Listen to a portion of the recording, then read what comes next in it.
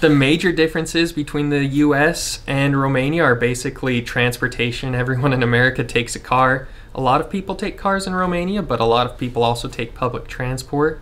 The food is definitely different. In America, we have a huge blending of cultures and we have so many different fast foods that you can go out and eat. And we do have hamburgers and other things that are more native, where in Romania, it was more the native Romanians and what they ate was kind of the food you got. So it was incredible to see that contrast.